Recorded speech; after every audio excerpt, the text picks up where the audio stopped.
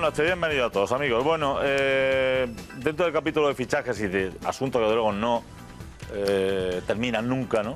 Eh, tenemos una- un verano un tanto raro en ese sentido y, y negociaciones que se están eternizando. Parece que la que está más cercana a ser definitivamente cerrada es la de Javi Márquez, el jugador del Mallorca, que hizo carrera inicial en el Club el Real Club Deportivo Español, que el año pasado estuvo en el Elche, como los buenos aficionados sabrán, y que parece que el Granada pues, está muy cerca de cerrar ya definitivamente ese contrato con un escollo que salvar y es intentar convencer al Mallorca de que no tiene que cobrar nada por su traspaso, algo que parece que no acaba de eh, convencer a los, a los dirigentes baleares. ¿no?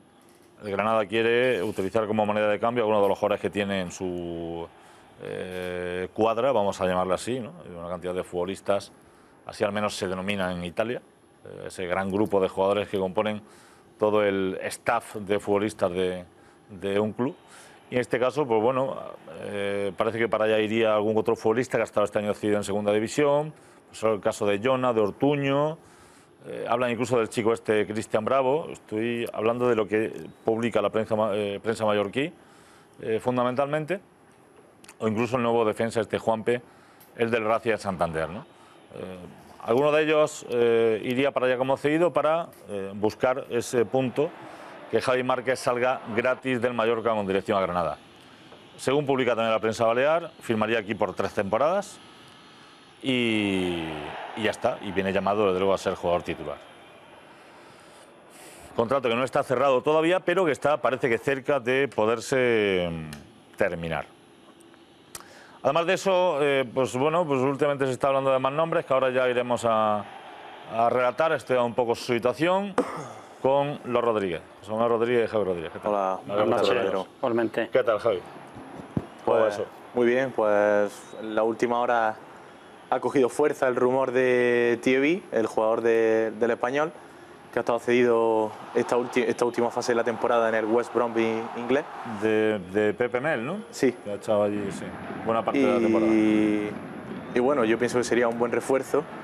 Eh, un- el delantero franco-congoleño tiene 22 años y yo creo que no sería una mala incorporación para Granada, aunque sí es verdad que no, no sería ese gran fichaje que todo el mundo espera.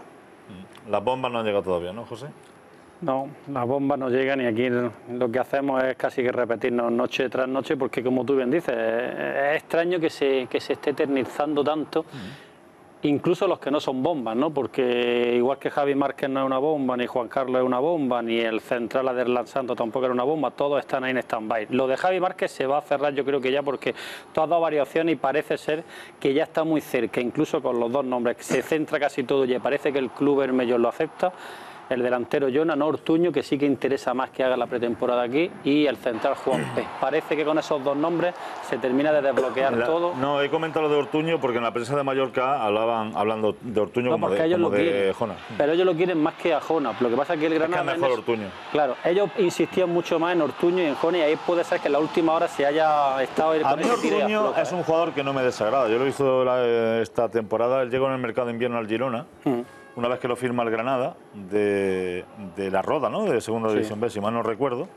Y eh, la primera opción es cederlo al Girona. Yo le he visto a este chico unos cuatro o cinco partidos. No creo que tenga malas cualidades, yo creo que es un buen jugador. El Granada haya tenido buena, buena vista en esta incorporación y no me extraña que el Mallorca lo esté pidiendo porque creo que sería una buena, un buen fichaje. Lo pide, lo pide por delante de, de Jona, pero parece ser que bueno que, Granada sí que está apostando porque eh, tienen intención de que ocupe la posición del tercer delantero, la que este año ya parece que de una vez por todas Ígalo no va, no va a cubrir. Pues me parece un error. Y eh, eh, la explicación algo. de allí, igual que la de Thierry, un perfil de ese jugador no es para venir como primer delantero porque eh, se piensa que para eso no supera el Arabi, sería siempre y cuando lograsen o quieren que sea la segunda posición esa que le están negando ahora a Ricky, la que le están abriendo para que se busque salida, la tercera para Ortuño. Sería ese primer delantero, el Arabi, y si no otro, en esa segunda posición sí que puede entrar esa parte que hemos hablado de Thierry y la tercera sería para Ortuño haciendo la labor que las temporadas pasadas ha hecho. Vamos a ver, salvo que este chico triunfe en el fútbol español, algo que es probable, no, no, no lo voy a descartar, porque creo que tiene buenas cualidades. Salvo que eso sea así y obtenga un triunfo Tiene 24 25 años, ¿no, Ortuño? ¿no? Sí, no es ningún niño. sí, sí, sí. Bien, pero bueno, 25. yo creo que no, no tiene mala forma. Yo creo que su fichaje puede que no haya sido eh, en balde, ¿no?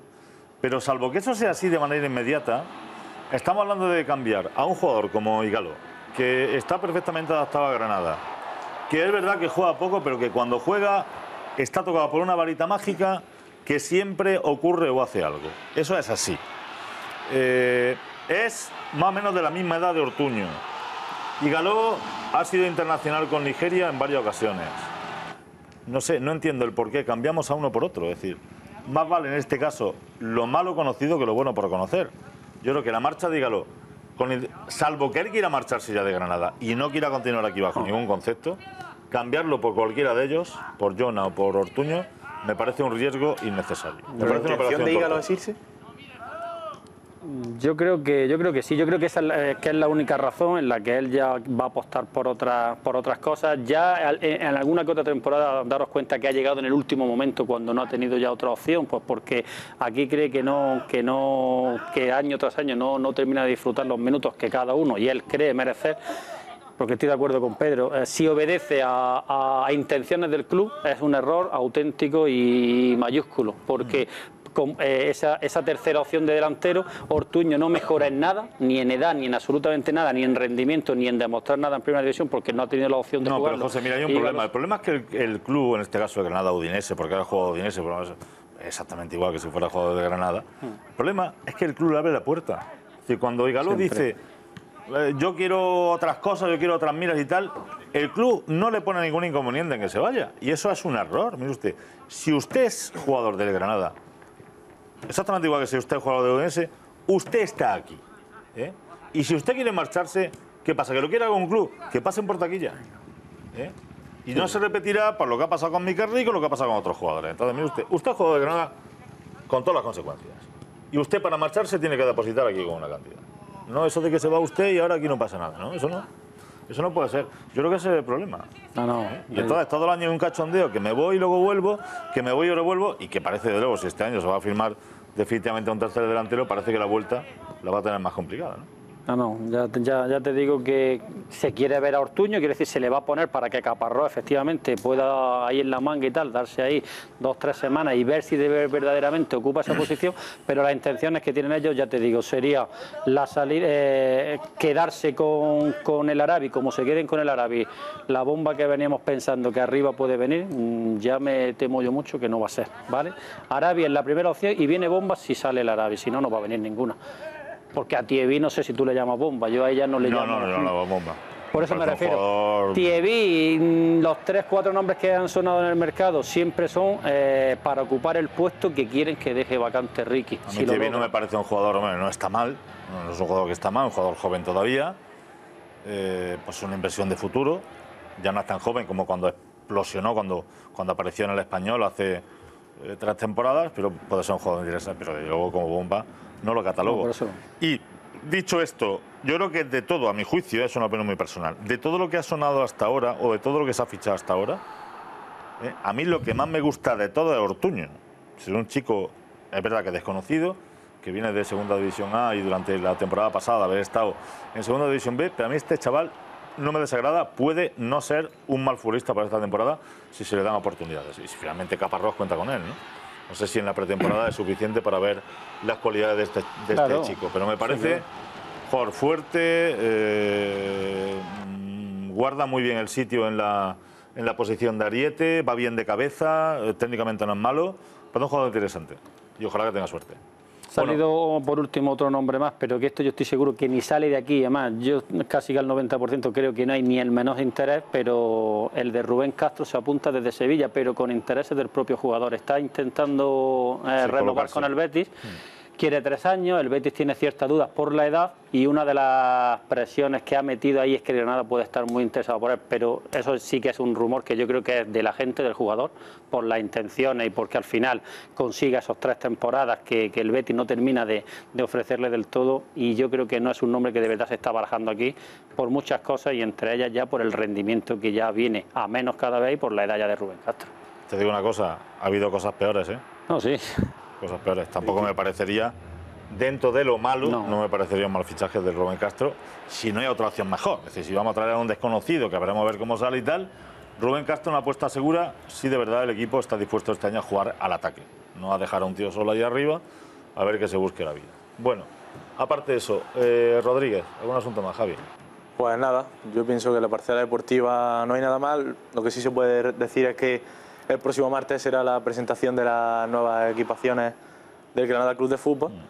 Y Un asunto muy interesante.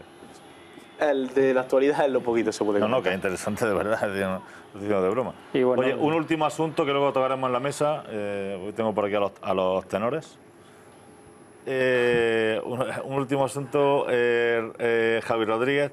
¿Sabes algo de, del juicio de, por el robo de, de en el Granada? Pues la verdad es que no, ¿No? no sé nada. Pues mañana tiene una oportunidad de oro. Mañana tiene una oportunidad de oro porque debe ser, si no hay un aplazamiento o, se- o queda corta la sesión, la última del juicio por ese robo. Mañana puede quedar visto para sentencia. Bueno.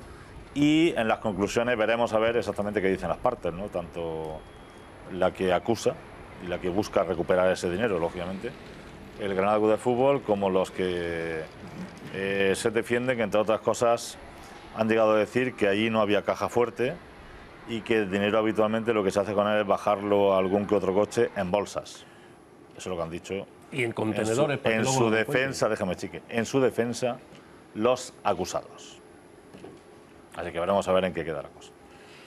Muy bien, si no tenéis nada más, Nada más. ¿eh? quedan ustedes despedidos.